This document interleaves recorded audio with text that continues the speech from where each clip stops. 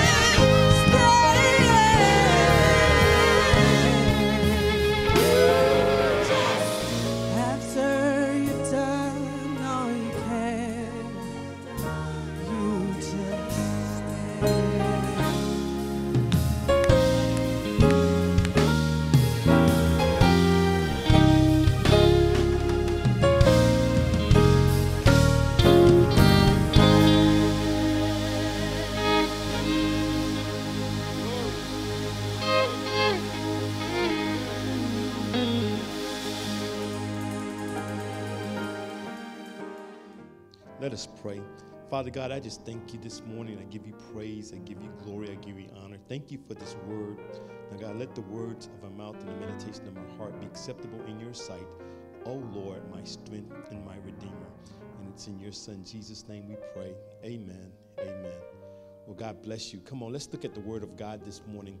We're going to go right to the book of Malachi. Malachi. Uh, we're going to begin reading at verse uh, chapter. We're going to begin reading in chapter three uh, at verse one.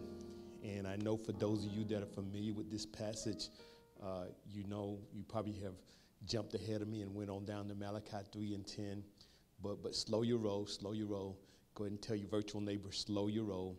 Uh, that's not what I'm preaching about this morning. There's something else in this text that I saw that, that I want to deliver to you this morning. But let's let's read verse uh, these first couple of verses in chapter 3.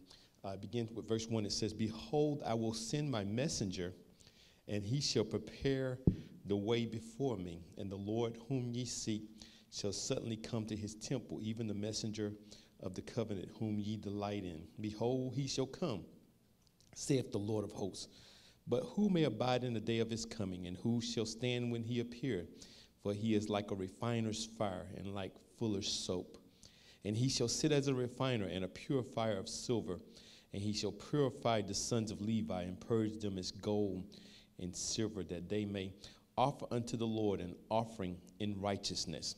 Then shall the offering of Judah and Jerusalem be pleasant unto the Lord, as in the days of old, and as in the former years. And I will come near to you to judgment and I will be swift witness against the sorcerers, against the adulterers, against false, false swearers, and against those that oppress the hireling in his wages, the widow and the fatherless, and that turn aside the stranger from his right. And fear not me, saith the Lord of hosts.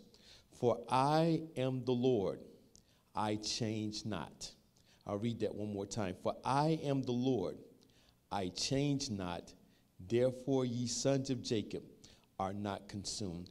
I want to speak to you for just a few moments this morning. I want to take the title of this message from verse 6, and I want to talk about from this t- topic we serve an unchangeable God.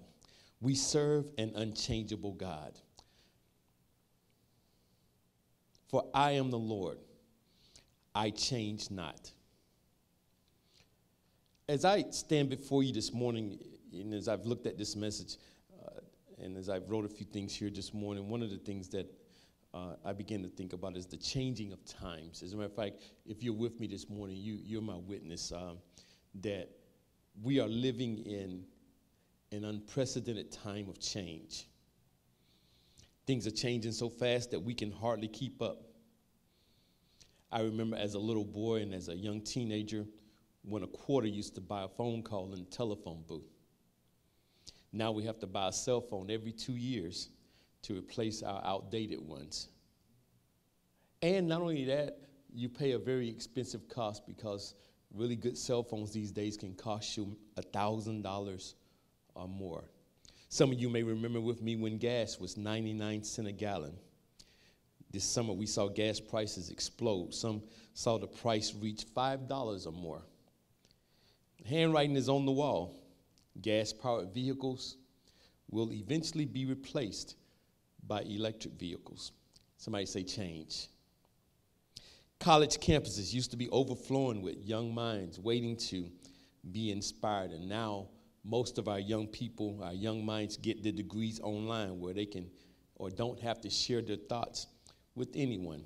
So much of our life is changing at a rapid pace that when we look, the good old days was just last year.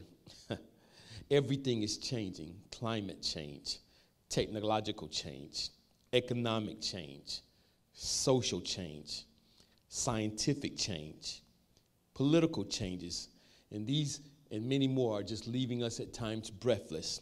Even what we eat has changed. There's no more time to chop up fresh vegetables or to marinate a piece of meat. Uh, we now reach for the microwave and we eat food that's filled with preservatives. We either order through Grubhub or we go out to eat. Times have changed when we no longer really sit around the dining room table for evening meals. Where we live has changed. Many of us have moved from the hood to the burb. Many of us have moved from the country to the city. We no longer want large yards or separation from our neighbors. We are moving to smaller yards or no yard at all. We no longer want to drive to the city or across town. We want the experience of the marketplace, quality of life living within walking distance. How, how we shop has changed.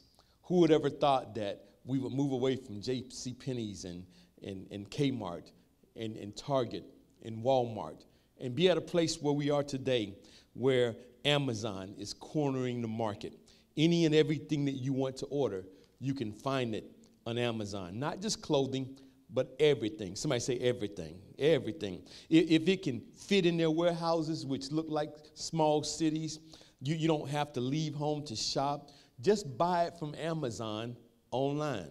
And get this if you're a Prime member, like most of us are, you don't even have to pay for your shipping how we talk has changed. We used to get together, a lot of us and a lot more people, and, and have time with friends and, and discuss uh, our lives and, and, and build relationships in settings together. We, we would catch up. But now we just send text messages and we don't even type out the whole word. We use uh, alphabets like TY, which means thank you. We use OMG, oh my God. IDK, I don't know, LOL, laughing out loud, and so many others that you can think of at this time. Or, or like myself, we have the overuse of emojis. My favorite is the thumbs up. It's a quick conversation piece. When I was growing up, we had to write in cursive. Today, today you just have to know how to use your thumbs. How we work has changed. Uh, as a matter of fact, COVID has helped us over the years in, in, in terms of working, and that we have now come to find out that we can have flex schedules where the boss lets you work from home. How we dressed has changed. As a little boy growing up in the church, I remember the preachers who wore suits and gaiters, and now we live in a day and time where our preachers, like myself, we wear sneakers and jeans. Even when, uh, uh, where and how we used to worship, for so many of us has changed. We, we now enjoy the benefit of online service. We enjoy the benefit of Facebook Live in our pajamas, Bible study on Zoom, or having prayer meetings by conference calls. We may think it's the same, uh, but I, I got to just let you know that it's not the same because in this, many of us have lost, we've lost the benefit of fellowship. Someone once said, the only constant in life is change but I believe that that person was wrong. There is a constant that does not change ever. Despite all that is changing all around us, I stand today to reassure you as a pastor in the body of Christ that God never changes. Yes, there's change happening all around us, but I reaffirm to you that from this holy position where I stand, that God never changes. As a matter of fact, in our text today, uh, God is, is, is, is, is predicting uh, through the prophet Micah the things that are going to happen in the future. Uh, uh he predicts that, that, that, that, that for Israel, uh, particularly in this text, that, that there was a judgment that was coming. And he lets the people know that he will purge the nation of those who are involved in sorcery, who are involved in adultery, perjury, depriving uh, workers of their wages, oppressing the widows and orphans and mistreating aliens. All those who do not fear him, God said he was going to deal with him. He was going to judge. And all of these, because what? They, they were crimes that were prohibited in the Mosaic law. And here God is speaking through his prophet. However, however, God, uh, uh, while he does speak of judgment, uh, there's a God also that, that also at the same time that is a, a merciful God and who remembers his covenant. Because he also tells Malachi here in this text that, that Israel will be delivered in the day of the Lord. Yes, the descendants of Jacob will not be destroyed. This because of God's covenant promise that he had made to Abraham, to Isaac, and to Jacob. Uh, a promise, though, though, when we look at it, is only as good as the one who made the promise. And I stand here today to tell you that God will keep his promise uh, to us, to you and I, just as he has kept his promise to the nation of Israel. It will not change because his word, like himself, is immutable. This, this, this, this is the basis for Israel's hope. And like Israel, you and I are part of God's church today. The church that Jesus promised that the gates of hell shall not prevail against it. And, and as a church, like Israel, we have this hope in God because we know this He never changes. I'll say it again He is immutable. Uh, uh, and here's some reasons before I get out of here and go home today that I want to let you know why I believe that God never changes. Number one, what, what God yearns for us never changes. You, you can count on that. God desires, according to John 3 and 16, that whosoever believeth in him should not perish, but have eternal life. You may not want him, but he wants you. And if you perish, that's on you. It's not on him. The apostle Paul wrote in 1 Corinthians chapter 2 verse 9, but it is written, I have not seen, nor, nor ear heard, neither have entered into the heart of man the things which God has prepared for them that love him. The blessings of God that he has in store for you are numerous, so many that you can't even count them. In fact, most of them are invisible to you. He knows what you need even before you ask. My God, God already knows what you're in need of. As a matter of fact, there's a few of you that can testify that, that, that there's that accident that you avoided when you was driving, God already saw it and, and, and made sure that you were kept safe. Uh, there's, there's that raise that you got that, that was right on time because you didn't know the unexpected financial uh, commitments were on the way. There, there's a storm that you avoided because God took you down a different route. There, there's the issue that the doctor discovered and treated before you ever even knew about it. There, there's that, that mortgage, that house you was trying to get into that God blessed and made a way for you to be able to do it when you knew that your credit score was not good enough. As a matter of fact, there's a few of you with school just starting, uh, uh, your child was able to get that last minute scholarship that you did not know was available. Why? Because God is always looking out for his people. And you ought to just take a moment right there and give God about 30 seconds of praise for the blessings that God has in store for you that you have not even come into yet. Give him an advance praise. Come on, take about 30 seconds and thank God because God God has plans for you, and He's not changed His mind about you. He's yearning to give you the things that He desires for you. You see, God's method of, of reaching us will never change because His love for us will never change. He desires a relationship with all of us, and it only requires a confession of our faith. As a matter of fact, I said to you earlier that He sent His only begotten Son to open the door of relationship with Him.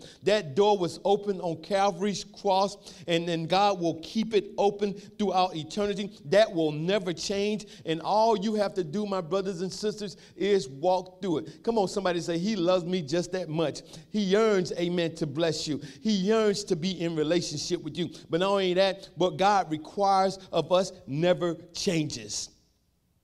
Once we accept His Son as our Savior and become one of God's own, the book, the Bible, the ancient book of his requirements, they will never change. He won't change his rules in midstream to make your journey with him impossible. In other words, God does not move the goalposts. his word has never changed, and it will never change. Even if every copy of the Bible is burned to ashes, God's word will never change because it lives in us. 1 Peter 2 1 and 25 reads, For all flesh is like grass, and all its glory like the flowers of the field. The grass withers and the flowers fall, but the word of the Lord stands forever. As a matter of fact, when Peter quotes verse, this verse, verse 25, he's really quoting from Isaiah 40 and 6 through 8. He's reached all the way back into the Old Testament where Isaiah says, Cry out, I said, What shall I cry? All people are like grass, and all their faithfulness is like the flowers of the field. The grass withers and the flowers fall because the breath of the Lord blows on them. Surely the people are grass. The grass withers and the flowers fall, but the word of God endures forever forever. Isaiah's poem here describes a glorious field of flowering grass that quickly withers and dries up. It's a picture of our human existence. Intense, but all too brief. But, but that's not the end of the poem. By, by contrast, the word of the Lord remains forever. I stopped by to tell someone this morning that while we may come and go on this side of eternity, one generation after another, God's truth remains the same throughout all of time. It never changes. Therefore, God, God demands are simple. Uh, uh, Malachi asked, Micah asked, What do the Lord require of thee? And then through the inspiration of God Himself, Micah answered the question. Hear, hear the word of the Lord. God demands that we be just. Our lives be lived in such a way that we are fair and impartial in how we share our testimony. There, there, there's no room for prejudice or bias in the house of God. As a matter of fact, Romans 3 and 23 reminds us that, that, that all have sinned and come short of the glory of God. But God demands that we be merciful. Our lives should be full of compassion and generosity. Those, those, those who watch us should see us as kind hearted and sympathetic, not, not hateful or full of disdain. His mercy endures forever, and so should ours. We should extend the same mercy that we expect God to extend to us. God demands that we be humble, for it is the meek that shall inherit the earth. We should be known for our modesty, brothers and sisters, our submissiveness to those who are in authority over us, and compliant to the powers that be, according to Romans 13 and 1, because they are ordained of God. God expects us to be gentle to people who draw others to Him by our mild mannered, forgiving, and understanding nature. God also demands that our relationship with Him includes our faithfulness to His church, not just on Sunday morning, but at prayer meeting, at Bible study. He warns us not to forsake the assembling of ourselves together, and the reason is obvious. His desire is that we shout, but, but when we shout, we know what we're shouting about. God's desire for us will never change. His demand for us will never change. But not only that, what God has promised will never change. James 1 and 17 reads, Whatsoever is good and perfect is the gift coming down to us from God our Father, who created all the lights in heaven. He never changes or casts a shadow or cast a shifting shadow. Go ahead, someone type it in the in the virtual lines there. Let your neighbor know God is not God is not shady. Come on, tell somebody this morning. God is not shady. God is not shady. As a matter of fact, James urged his readers not to be deceived. He understands that emotions and sinful thinking can trick us into turning away from God.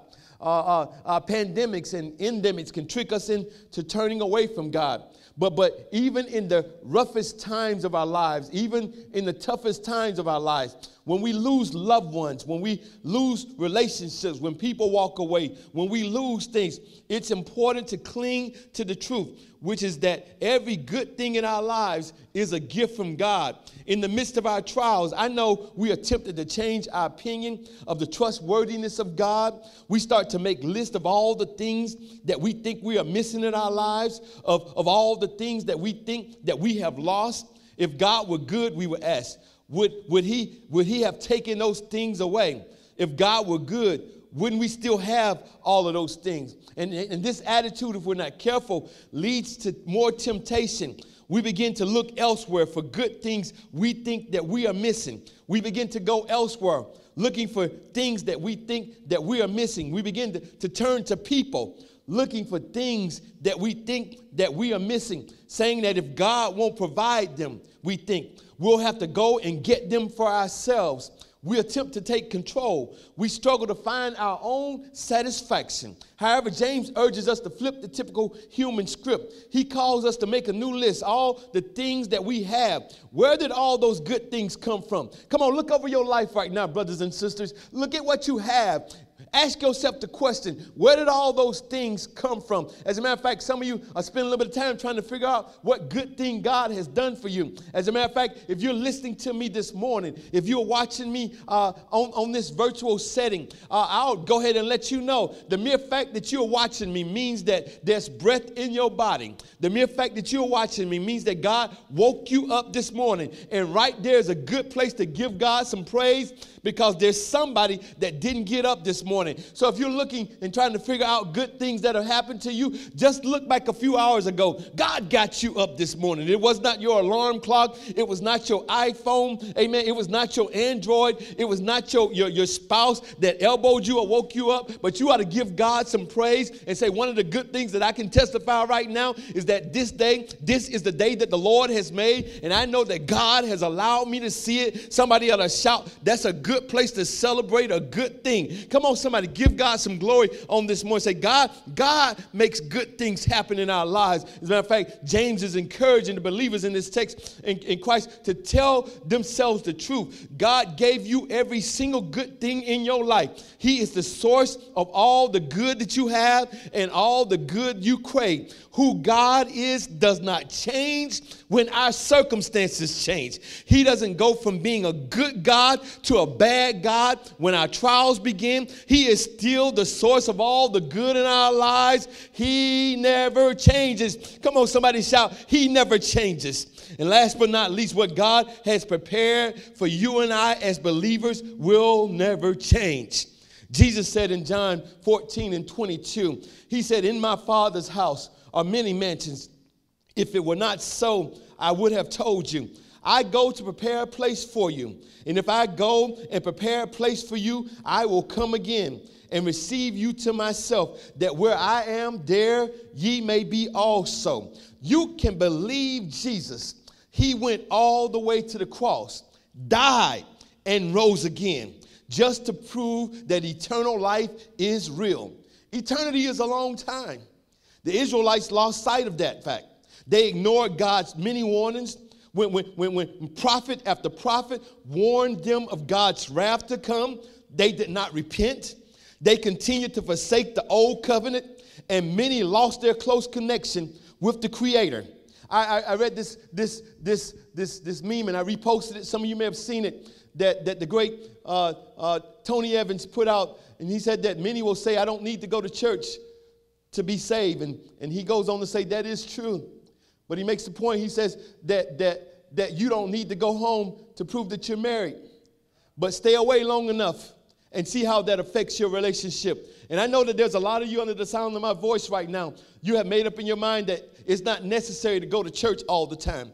You, you've been convinced that, that you're okay staying at home. But, but I want to remind you be careful that you don't lose your close connection with God that comes through fellowship with your brothers and sisters in Christ. Uh, uh, they, they, because because here's what the Bible says it says that the people in Malachi's time, they, they ceased to keep God first and so they gambled away their eternal home. Yes, yes, not everyone deserted the Lord in the days of the old covenant. We know this because John, John records the vision of on the Isle of Patmos that 144,000 from the tribes of Israel was sealed in heaven's throne room there in Revelation chapter 7 and 4. And, and, and, and he said that, that, that not only that, but he goes on to say in Revelation 7 and 9, he said that there will be a great multitude of Gentiles who will join them. Listen to what he said. After this, I looked, and there before me was a great multitude that no one could count. My God, from every nation, tribe,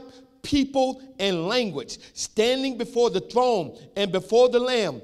They were wearing white robes and were holding palm branches in their hands. And I don't know about you this morning, my brothers and sisters, but when I think about what God has prepared for me, I have made up in my mind that I am determined to be in the number.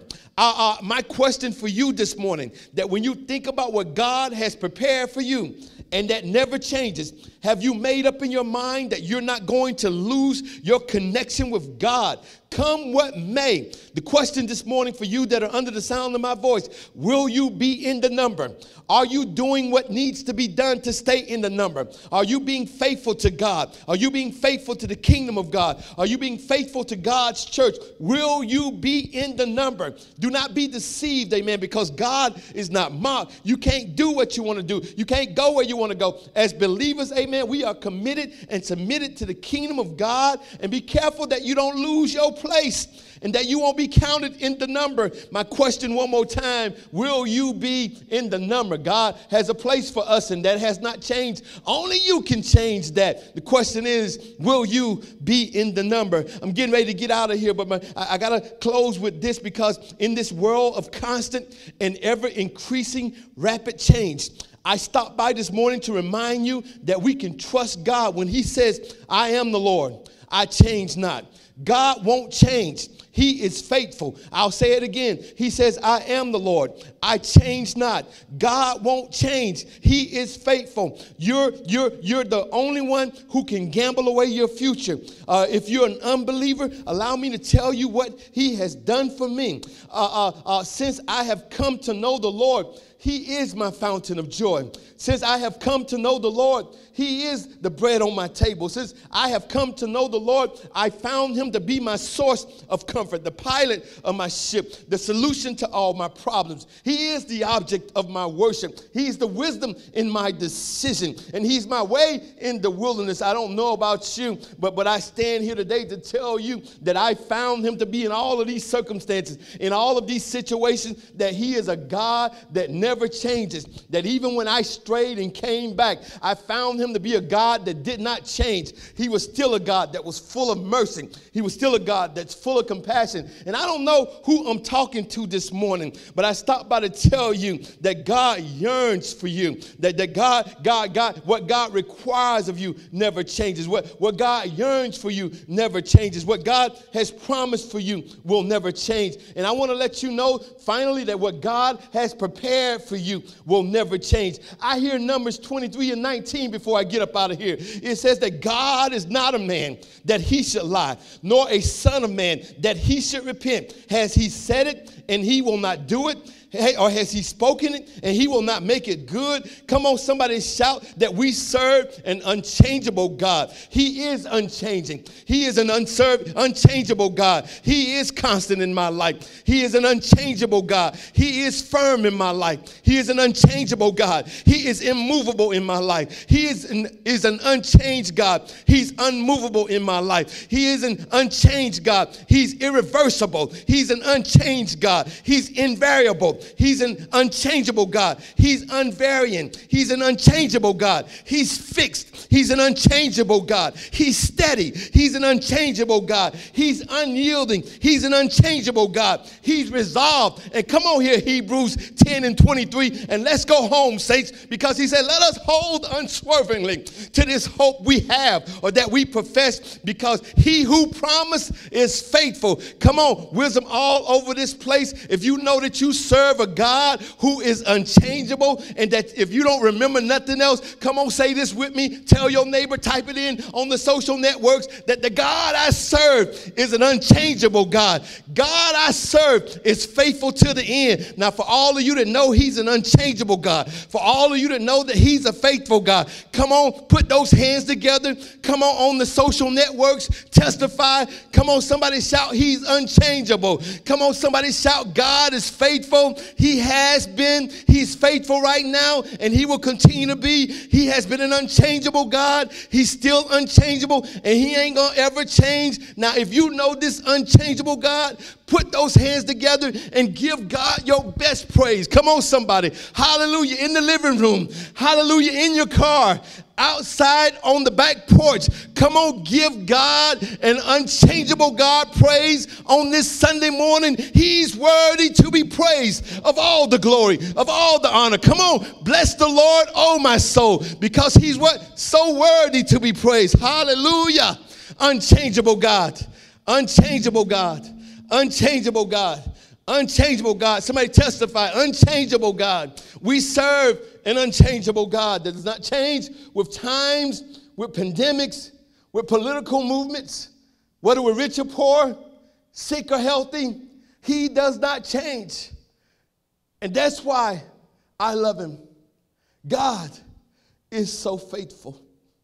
And for that, on this morning, we honor you, oh God. Somebody need to hear, oh God, that you're un- unchangeable, that they're going through a situation where they feel like you've left, oh God, but you've not left because you said in your word you will never leave us nor forsake us. Oh God, somebody's in the midst of something right now, God, a storm, oh God. They don't even know that you're right there with them, oh God. God, God, you got them, you got them. God, they, they facing challenges in life right now. But, but I need to remind them of your word right now, God, that, that, that, that, that if they'll hold to your unchanging hand, oh God, hold, come on, hold, hold, come on, wherever you are right now, hold to God, hold to God, hold God. To, I, I, I don't care how long you've been going through, hold to God's unchanging hand. I don't, I don't care what it looks like, hold to God's. I don't care who walks out, hold to God's. I don't care what you lose, hold to God. I don't care what the doctor says, hold to God. I, I don't care what they say on the job, hold to God's unchanging hand. Come on, come on, come on, come on. Somebody pray right now for your neighbor on these social networks. Some, somebody needs to hold to God this morning. Somebody's on the verge of giving up, but I come by to remind you hold to God's unchanging hand. Come on, He's an unchangeable God. He's an unchangeable God. The same God that loved you yesterday is the same God that loves you today. The same God that promised blessings. You've not received them yet. I want to let you know that He is a God that He will not lie. And if He promised it, He will perform it. God's going to do it. God showed you, He's going to do it. Come on, hold on to the promise.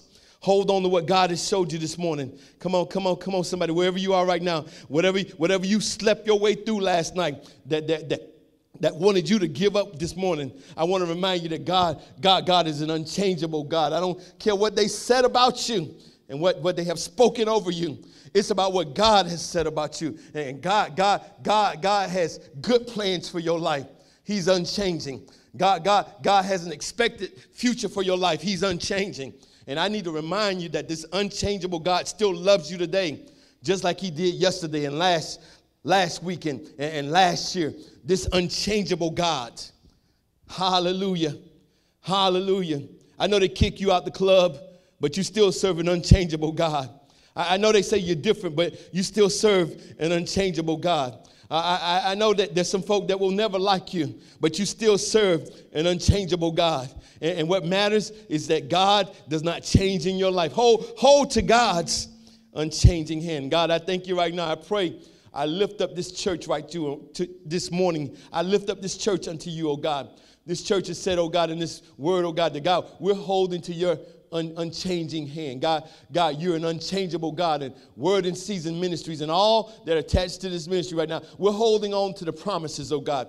We're holding on to everything that you have for us, oh God. We're not letting go. We're not, we're not slipping back, oh God. God, God, as a matter of fact, I see great things on the horizon, oh God, because God, God, just like you, you promised for things in the days of Malachi that were to come, I know that there are things on the horizon for Word in Season Ministries and for every member that's attached to this body of faith. Because what? You are an unchangeable God. Now, now God, Open up the windows of heaven and pour out blessings, oh God, on our families, on our, on our men, over our, our, our, our women, over our sons and our daughters, oh God. Open up the windows of heaven, oh God. Let your favor be on this ministry, oh God, as you have promised, oh God, because what? You are an unchangeable God, God. I thank you right now, God give you praise, glory, and honor on this, this powerful Sunday morning. God, we serve. Come on, come on, somebody, type it in one more time before we go. We serve an unchangeable God. If you believe that, amen, come on, let somebody know. We serve an unchangeable God. If you've not liked and shared this message, like and share it with somebody. Let them know we serve an unchangeable God. God bless you. Remember, for every season, there is a word in season. Wow, what a powerful service. Thank you guys so much for joining us for our fourth Sunday virtual service. It was awesome, and I pray that it impacted your life just as much as it did mine. The word is always so rich here at Word in Season Ministries. So listen, if you did not give, if you did not have an opportunity to connect with us, I'm giving you an opportunity now to do so.